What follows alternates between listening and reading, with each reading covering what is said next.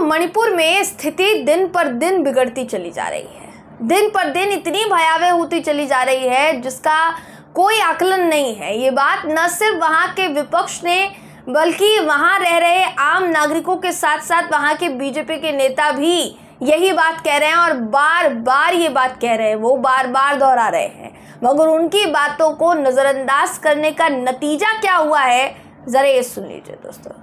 क्योंकि उनको नज़रअंदाज किया गया तो नतीजा निकलकर सामने आया है कि मणिपुर में कर्फ्यू तोड़ दिया गया। वहाँ प्रदर्शनकारियों और पुलिस के बीच झड़प हुई और हद तो तब हो गई जब प्रदर्शनकारियों ने मुख्यमंत्री के निजी आवास पर हमला बोल दिया। जी हाँ निजी आवास पर हमला करने की कोशिश हुई। मणिपुर में हालात कितने बिगड़ चुके हैं, आपको इस खबर में ना सिर्फ़ हम बताएँगे, बल्कि तस्वीरें जो सामने आ रही है, वो भयावह तस्वीरें दिखाएँगे। नमस्कार, मेरा नाम है जयंती झा, और आप देख रहे हैं द वीपीएन टीवी मणिपुर की राजधानी इम्फाल में हालात जो है दोस्तों, इतने ज़्यादा बिगड़ चुके हैं, ख़राब हो चुके हैं कि अब इस हिंसा से सीएम का घर भी अछूता नहीं रहा। प्रदर्शनकारियों को पुलिस ने रोका तो पुलिस से झड़प हुई। मणिपुर के सीएम एन बीरेन सिंह ने शांति बहाल होने का फर्जी दावा किया था और जिस दिन दावा किया था, हैरानी आपको होगी कि उसी दिन उनके निजी आवास पर हमले की कोशिश हुई है। हालाँकि बताया जा रहा है, मुख्यमंत्री उस समय अपने निजी आवास पर मौजूद नहीं थे। मुख्यमंत्री आवास अलग होता है, दोस्तों, मुख्यमंत्री का निजी आवास अलग होता है। तो फिर से माहौल जो है, हिंसक तब हुआ है, जब से इंटरनेट पर दो लापता छात्रों के शव की तस्वीर वायरल हुई, वो दोनों छात्र मैतई समुदाय से बताए गए। इसी के बाद राज्य में हिंसक प्रदर्शन की शुरुआत हो चुकी है। शहर में कर्फ्यू लगा हुआ है, लेकिन अब उसका कोई मतलब नहीं रह गया है, क्योंकि हिंसा की आँच मुख्यमंत्री के निजी आवास तक पहुँच चुकी है। आपको सामने आए घटना का जो वीडियो है, जो तस्वीरें सामने आई है, वो आपको बिना देर की दिखा देते हैं। तस्वीरें देखिए, आपको हैरानी होगी दोस्तों ये तस्वीरें देखकर। वीडियो देखिए।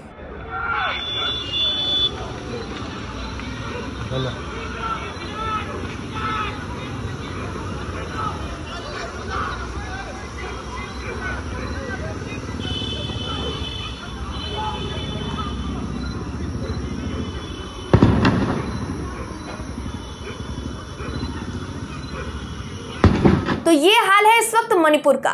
मामला राजधानी इम्फाल तक जा पहुँचा है और उस पर भी सीधा मुख्यमंत्री आवास तक जा पहुँचा है। भीड़ जब कर्फ्यू तोड़कर आगे बढ़ने लगी तो सुरक्षा बलों ने कई राउंड आँसू गैस के गोले दागे और भीड़ को सीएम के पुराने आवास से 100 से 150 मीटर दूर रोकने में वो सफल रहे, यानी 150 100 150 मीटर तक ही दूरी पर थे। प्रदर्शनकारी। मुख्यमंत्री का सरकारी आवास इससे अलग है, जहाँ भारी सुरक्षा हर समय तैनात रहती है। मणिपुर के करीब 20 से ज़्यादा विधायक जो है दोस्तों, वो दिल्ली पहुँच गए हैं, सिर्फ़ और सिर्फ़ इन प्रदर्शनों की वजह से और हिंसा की वजह से। उन्होंने केंद्र से अशांत राज्य में दो छात्रों का जो अपहरण किया गया, लापता हुए और हत्या जिनकी हुई, उसके खिलाफ कार्यवाही करने की बात कही है इन विधायकों ने। विधायकों ने गृह मंत्री अमित शाह जी से ये गुजारिश की है कि जो सीबीआई की जाँच कराने की आप बात कर रहे हैं, उसमें तेज़ी लाई जाए। यानी समझ में आ रहा है आपको तेज़ी नहीं है। हालाँकि जब मुख्यमंत्री के निजी आवास पर हमला होने पर खुद मुख्यमंत्री ने अभी तक कुछ नहीं कहा है तो फिर अमित शाह जी इन नेताओं का आग्रह कैसे सुनेंगे भला? ये बड़ा सवाल है।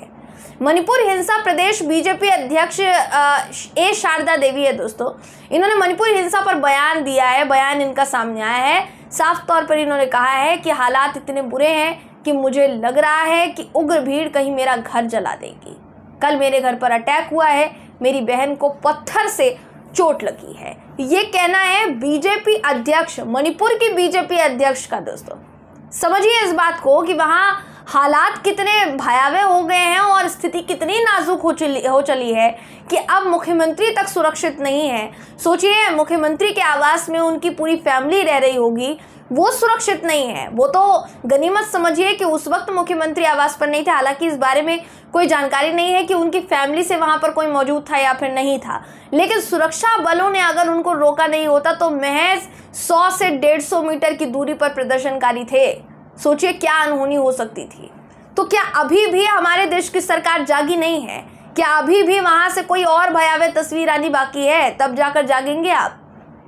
क्या कोई उपाय निकाला जा जा सकेगा मणिपुर की हिंसा का? ये बड़ा सवाल दोस्तों इस वक्त उठ रहा है। इस पूरी खबर को लेकर आप क्या सोचते हैं? आपकी क्या राय है? कमेंट करके हमें ज़रूर बताइएगा।